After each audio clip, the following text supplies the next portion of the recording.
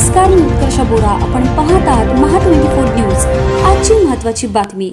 पुण्यात घडली देशातील पहिली दुर्मिळ घटना. आईसह गर्भातील बाळाला झाली कोरोनाची लागण. प्रस्तुतीनंतर बाळाला कोरोनाचा संसर्ग झाल्याची घटना घडली आहे. मात्र गर्भात असतानाच कोरोनाचा संसर्ग झाल्याची देशातील पहिली घटना ससून रुग्णालयात घडली.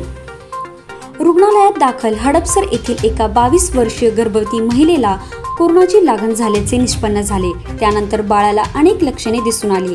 बाळाचा जन्म झाल्यानंतर नाकातील स्वॅब घेण्यात आले. त्याचबरोबर नाळ आणि नाभीच्या तपासणीनंतर तिला कोरोना झाल्याचे निष्पन्न झाले.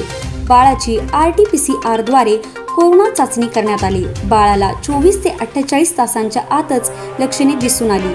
तापासह कोरोनाची अनेक लक्षणे बाळामध्ये दिसून आल्याने ससूनच्या अधिष्ठांनी म्हटलं आहे ना बाळाची नाभी आणि नाळातील संसर्ग ओळखण्यास सक्षम होते.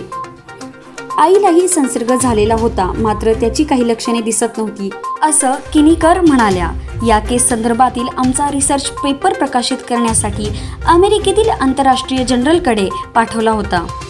तो स्वीकारण्यात आला आहे. त्याचं स्वीकृती पत्रही काल रात्री आम्हाला मिळालं आहे अशी माहिती किनीकर यांनी दिली. इंग्रजी वृत्तपत्राला दिली. प्रस्तुतीनंतर बाळाची व्यवस्थितपणे काळजी घेण्याची गरज होती. तशी घेतली गेली. तीन आठवड्यानंतर बाळ पूर्णपणे बरे झाले. जूनमध्ये बाळाला रुग्णालयातून डिस्चार्ज देण्यात आला.